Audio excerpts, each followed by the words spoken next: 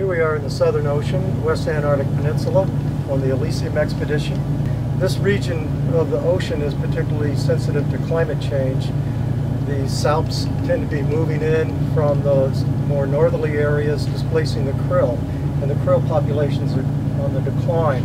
This is a route that Shackleton took, so we're going to follow in his footsteps, but we're going to be sampling the plankton along the way. We've got a video plankton recorder and a holographic camera to get images of plankton. And then we can take this, essentially a TIFF image, and reconstruct this entire volume at a few microns distance from each other. So we get slices through this volume uh, separated by about 200 microns.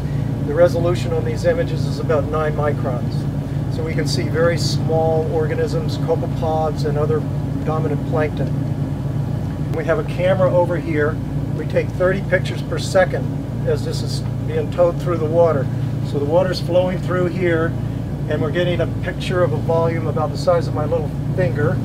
So what we want to look at is whether um, the salps and the krill um, are feeding on the same sort of food here and what sort of food they're feeding on. So one of the theories of global warming here is that the increased fresh water from the melt of the glaciers is causing the plants to be much smaller. So you're getting a community of much smaller plants.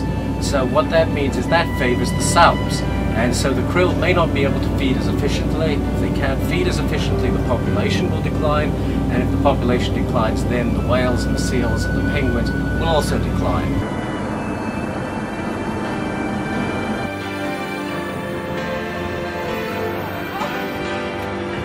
Does anybody have any black tape on them? That's pretty cool.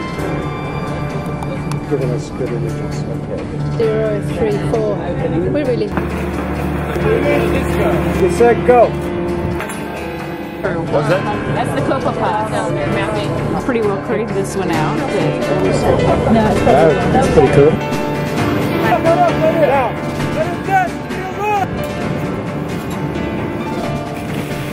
Down. Keep going down.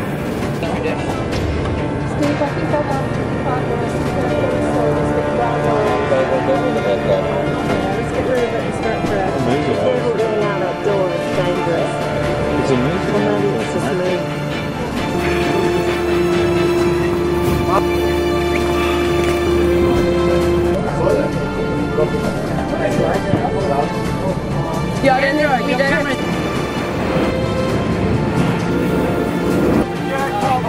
Oh my god.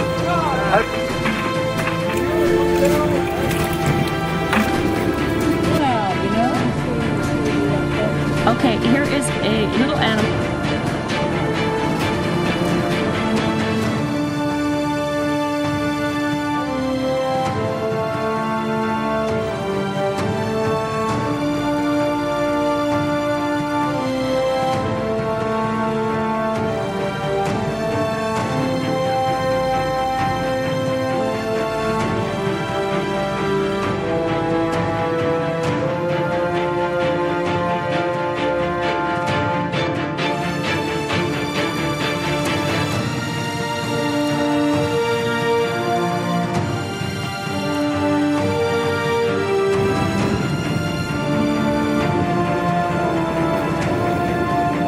Sampling in the Southern Ocean at night for plankton with a video plankton recorder, a holographic camera, and a plankton net. 220 meters because it's hanging out at an angle, so that'll give us plenty of depth. Record the position and the time that's all taken. We have a holographic camera that's snapping pictures with a laser every three seconds. The jackpot was South. South, baby.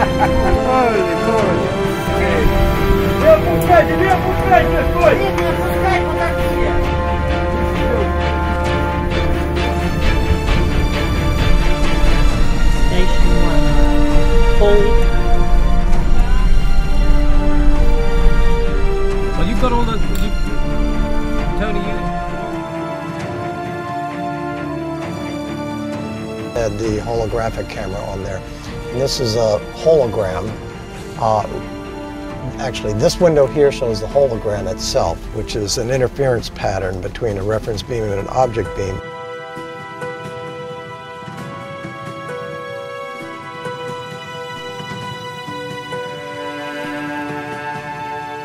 They've tricked the computer into thinking it's doing that, when in actual fact it's reconstructing slices through this volume, basically taking the hologram and, and doing some mathematics to reconstruct pictures.